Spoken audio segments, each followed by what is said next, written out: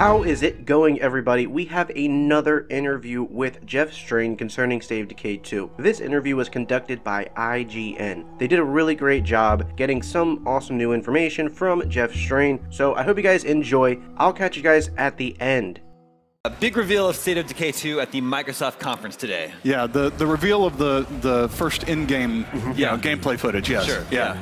Yeah, yeah we, we knew this was coming, but this is our first really good look at the game, I think. That's right. Yeah, because like we got the announcement last year at the show, yep. right? And then we, I think we exclusively debuted some sort of uh, in-game concept art uh, from early on in the year, but this That's was right. a full-fledged, what, five, five and a half minutes of, you know, what we're going to be doing in State of Decay 2. Yeah, the message this year is, hey, the game is real, it's Yeah. coming together, we still have a ways to go. Sure. Uh, but, you know, so many people are asking about it that we just, you know, we felt like we really wanted to just get out there and show it and like, yeah, this thing's coming. It's looking Yeah. good. It's coming together, and uh, the team's excited. Yeah.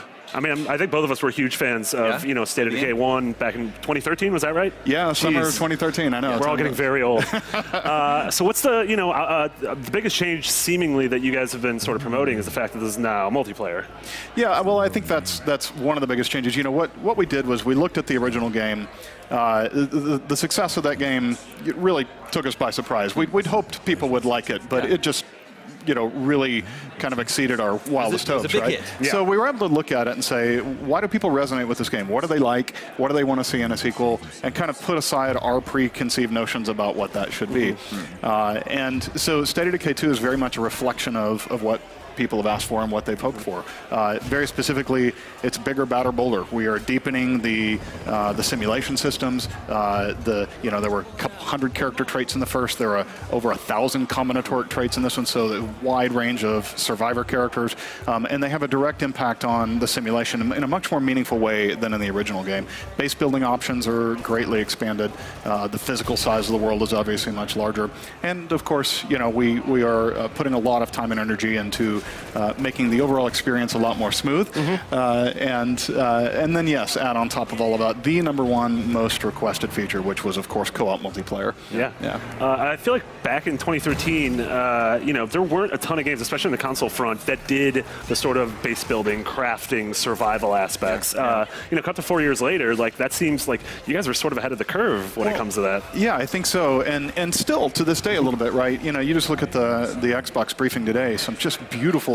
Jaw-dropping games, right? Just amazing experiences. Like as a gamer, I was sitting there, you know, really excited. Yeah. Yeah. You know, State of Decay 2 is still a little bit of a different drumbeat, right? It's it's not. Uh, you don't find a lot of console games with that are focused on that kind of simulation and strategy and and uh, kind of uh, depth of the you know quieter, calmer experience like that. Yeah. Is, Does the core game mechanic and goal remain the same, which is to survive and hopefully thrive in this uh, post-apocalyptic world? Yeah, very much so. You know, I think that um, the zombie genre is crowded.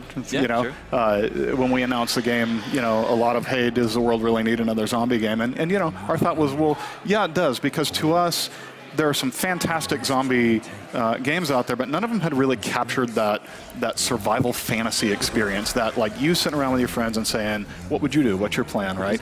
We really wanted to capture that and give players the ability to do that. I think State of Decay One was a good swing at that, uh, especially for the size of team and the resources we had. Uh, with State of Decay 2, we're able to take that a lot further. Sure. Uh, and, you know, as we look at this and think about what the future could hold, it's always getting closer and closer, closer to that reality, to that fantasy Yeah. that we want to try to achieve. Yeah. Yeah. What Uh, about the? Uh, well, you talk about how cooperative is a big uh, requested feature. So what does that look like now when you start a, a new game in State of Decay 2? Yeah. You find three friends. Yeah. What's that like? Well, you know, we spent a lot of time talking about, you know, what is true to the nature of the game. What's not true to the nature of the game is a big PvP slaughterfest, right? There are some games out there that have permadeath that do a great job of you know, get putting you in that kind of high risk scenario. But that's not what the game is about. The game is about humans working together cooperatively to overcome the zombie menace and survive. And and when we listen to our players, that's what they were asking for: co-op, co-op. I want to be able to play with my friends. This game begs to be played with my friends.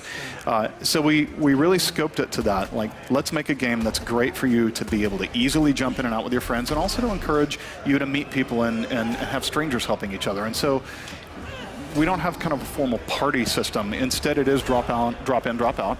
Um, you can jump into my game and play with me. I can jump into your game and play with you. The game rewards you quite a bit for working together and overcoming challenges together. But then there's the flare system, which is anytime you're playing and you're in over your head and you need help, shoot your flare, and it will notify anybody who's registered in the game world to be a volunteer, right? And let them know that you need help, and then somebody can jump in and help you in your game. Ooh, I love that. Do you have a limited number of flares, or just like one every? Is it uh, based on a time system, or does it regenerate? You know, I don't know the answer to that. Interesting. Uh, we, Well- we've got it in and working, but we I don't know what the constraints on it are yet. Interesting. And I don't think, uh, you know, we we can't leave this without talking about uh, the Xbox One X. Yeah. Obviously, officially, uh, it's coming out party today. Uh, what excites you about that? And sort of, uh, you know, how is uh, that new piece of hardware uh, allowing you guys to really just uh, see your vision of the game to the full? Well, you know, new console hardware is always so exciting, but but for developers, especially you know smaller developers like us, it's a bit of a uh, a kiss curse because it's you know we want to be able to show the game in the highest graphical fidelity and and you know with all the bells and whistles turned on, but traditionally with a new console release, you'd be facing a much smaller addressable audience, and that's tough for a, a developer like us to have to make that choice, right? Uh, with Xbox One X, because it is a family of consoles, because uh, our game will run on all of them, uh, it, it, it makes that a lot easier and a lot more exciting. Now we can just focus on the cool stuff. And so, you know, uh, we're building in a, a high degree of scalability so that we're able to take advantage of that additional horsepower um, to give you a richer, uh, especially on the graphical side, a, a more rich experience.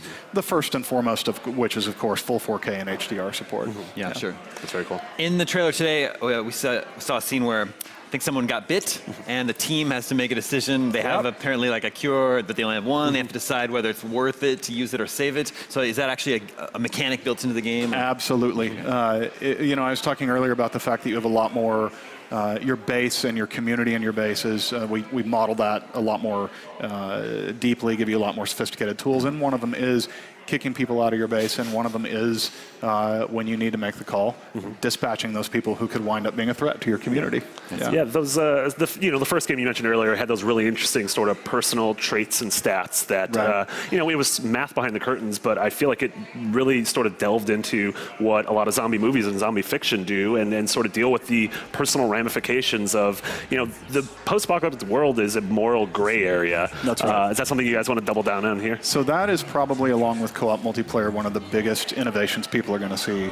Uh, is that, uh, as you point out, there are a lot of different ways to solve problems. Some of them very practical, some of them very ethical, uh, and sometimes those two things don't Yeah. uh, gel, right? And you are uh, often put in the position of uh, you'll you'll have your community uh, people, your survivors in your base will often give you advice, right, based on their personalities and their traits, and you choose whose advice you're going to take, uh, not by clicking a menu that says yes, I'll do what you say, but actually going out and doing it. And over time, that will cause some people to be more irritated with you or like you better, uh, and and ultimately result in kind of the, the, the how your your community is um, formulated, like who wants to be there, who doesn't want to be there, um, and you find that it, it's a very strong reflection of your own, you know, kind of personal thoughts on those matters.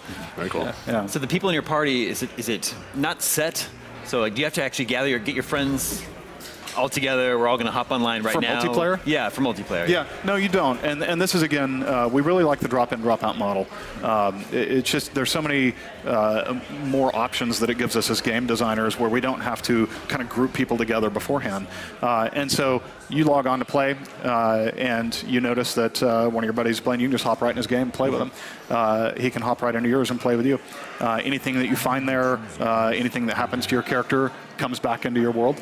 Uh, and so, you know, we just want to make it easy and seamless to play together without a whole lot of setup and a whole lot of structure to it. Okay, so if I jump into your game, I have to deal with the ramifications of what you've done in the past with, the, with the NPCs in the world. But That's then right. when I hop back into my game, I have everything that I did in your game, so I'm able to carry my progress over. That's right. Gotcha. Very cool. Sounds super interesting. Yeah. Yeah. State of Decay 2 is coming to Xbox One spring 2018. That's correct. Cool. We're excited to see more. Jeff, thank you so much for coming by Thank the show. you guys. Yeah. Appreciate it. Alrighty, I hope you guys enjoyed that that interview. I think there's going to be more interviews to come in the future. We also have some more blog posts coming from Undead Labs in the future, and that will all be covered within the State of Decay coverage series. So, guys, we are pretty far in the coverage series, episode 22. It's been amazing. We have a bunch of live streams planned to talk about everything we saw of the trailer and everything we now know from the interviews. Can't wait to do that. But, guys, I hope you guys have enjoyed this interview.